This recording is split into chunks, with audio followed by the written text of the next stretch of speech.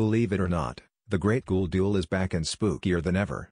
This Halloween, we're revisiting an old haunt, but with some extra flair. In this multiplayer interactive sequel to the 2018 Great Ghoul Duel Doodle, players around the world join a team of four to compete and collect the most wandering spirit flames before the moon is gone. After time's up, the team that has collected the most spirit flames wins. But beware, opponents can intercept spirits from one another as they bring them back to home base. Players can choose to host a game with up to 7 friends and family via custom invitation link or just play with randomized players around the globe. The team built several systems to enable this multiplayer gaming, all running on the Google Cloud platform, including integrating OpenMatch, a highly scalable, open-source matchmaking framework co-founded by Google Cloud and Unity. Like, Share and subscribe to Doodle Catalog.